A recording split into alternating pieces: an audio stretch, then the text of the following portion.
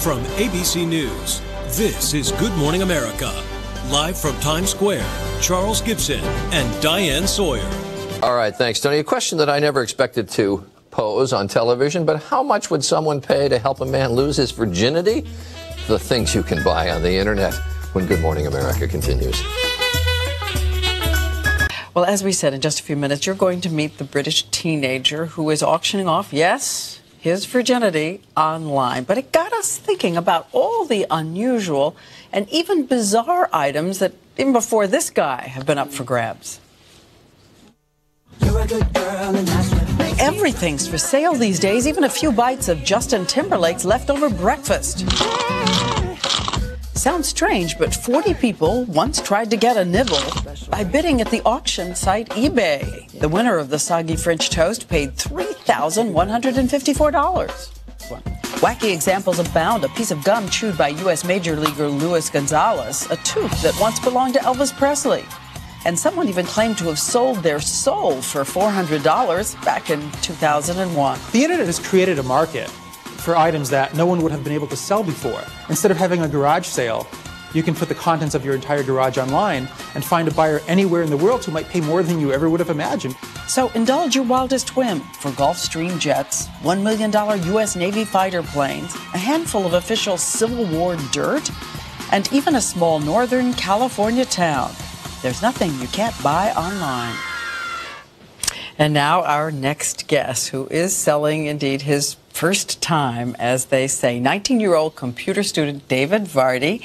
So far, he says that he's had many people inquiring. He's going to close out and pick the winning bid when the sale ends this week. He'll choose among them. And so far, the offers are close to his goal of getting $11,000. David, David. David, let's talk about your little stunt here. Now, what's going on? What are you thinking of? What are you doing? Well, to be honest, Diane, by the age of 19, most people have been under enough peer pressure to have actually gone and lost their virginity, and as you can see, I haven't lost mine yet. What's the one thing I got to do this summer besides tidy my bedroom? I got to lose my virginity.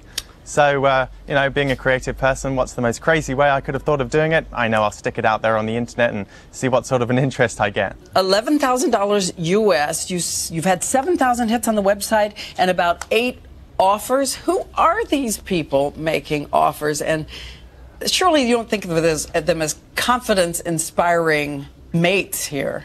Um, to be honest, some of them seem to have a little bit more money than sense, and uh, some of them seem to be just jokers. But luckily, I put a disclaimer on my website. I don't want to be dealing with any losers, stalkers, or murderers, so that cuts out about 90% of the population.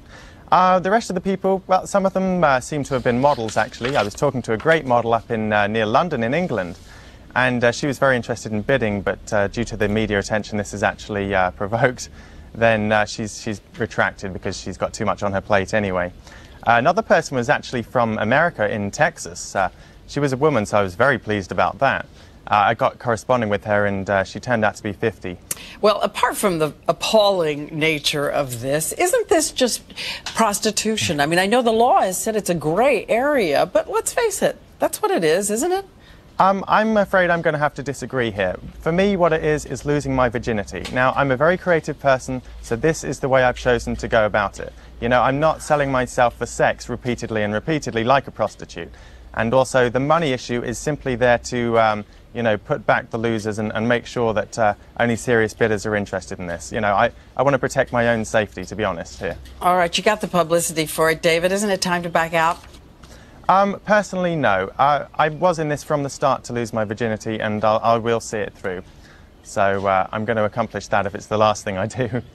Not some person you know that you really want to make this a good moment with. Um, no, I can't honestly say there is. Um, I only have friends. I, I, don't have a serious girlfriend, so uh, the, the, right person has not been found at the moment. And I appreciate that at some point in my life, the right person will be found. So, you know, thank God for that. Any chance you want to end up in the entertainment business someday? Well, to be honest, uh, since birth, I've always had a natural interest in creating comedy. I mean, I was recently uh, very engaged in producing a lot of stand up material for a radio station in California. And I've always created my own little TV productions. So uh, one day it would be great to be in the media. Why am I not surprised? Okay, David Vardy, thanks for being with us. If I were your mother, you'd be on lockdown. I just want to tell you that. Thank you very much. I give up. and he's going to go through it.